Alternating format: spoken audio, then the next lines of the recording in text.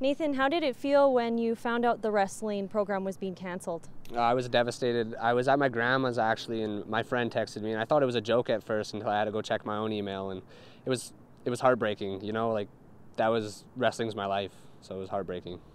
Yeah, I can imagine. And what do you think that that you would have done differently had you known the program was going to be canceled? Um, if I known it was going to be canceled, I probably would have went somewhere else. You know, nobody wants to just uproot their life and go a couple hours from home, away from your family and all your old friends, and wrestle just for a year and have almost nothing to show for it. So. And how is how is all your your teammates? How are they all reacting? Uh, they all feel the same as me. Like we feel cheated and disrespected from the university, and like it's just it's all hard for us because I have friends that are in their fifth, fourth, third, and second year, and they don't know what to do. Some aren't going to leave the university because they are too far in their degrees, they can't transfer, and some still want to wrestle but can't go anywhere, and some miss deadlines for other schools, and like all of us are just in shambles right now. Did you turn down any any uh, applications to get into school to take this program?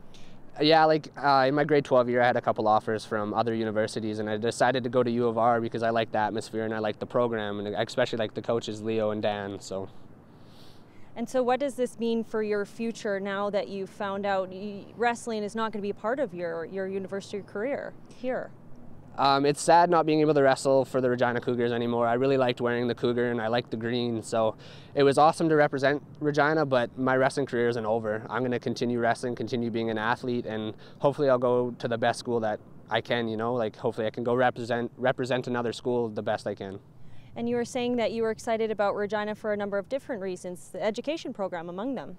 Yeah, well, like my first year here, I was in kin and I was going to switch into education because I wanted to give back to the community eventually as a wrestling coach. And I was going to do that through education, be a science teacher actually, and then wrestle or coach wrestling rather. But I, that's not going to happen in Regina anymore. So, any idea what you're going to do now?